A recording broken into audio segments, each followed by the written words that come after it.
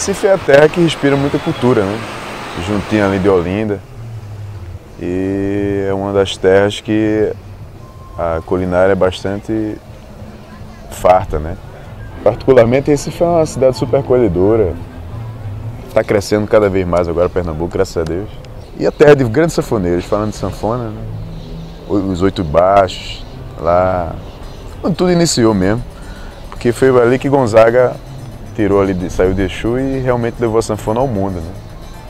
Assim, o nosso gênero de estilo de tocar, o forró, né?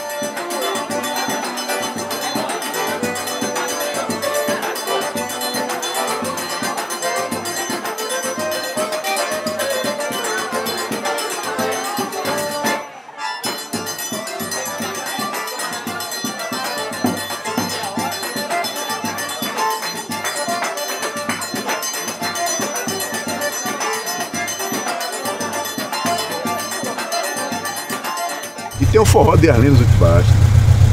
Que você vem naquela altura ali toda, a gente sobe aquela, aquela ladeira, né? E pensa que o forró é logo ali em cima. Você desce um buraco da peste.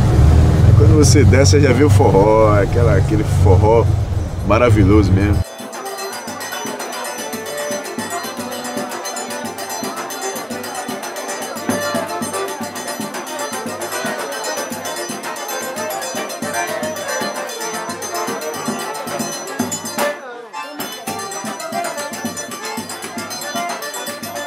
E tive a honra também de conhecer os meus ídolos, né? Porque eu nem acreditava, eu, eu, foi muito pouco tempo e eu já estava diretamente com todos juntos, como o Camarão, o grande sanfoneiro de Pernambuco, o Genário, aquela turma que naturalmente eram os mestres de lá,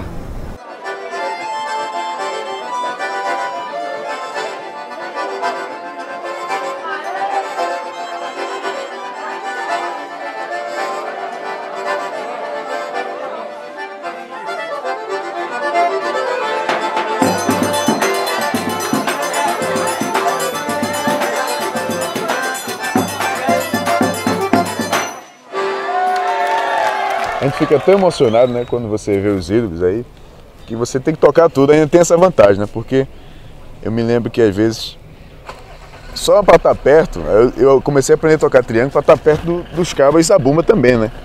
Porque às vezes tem zabumbeiro que é ruim mesmo. Aí eu já tocava melhor, eu digo, ó, deixa eu tocar. E o, o sanfoneiro gostava, já ficava ali tocando e olhando, né?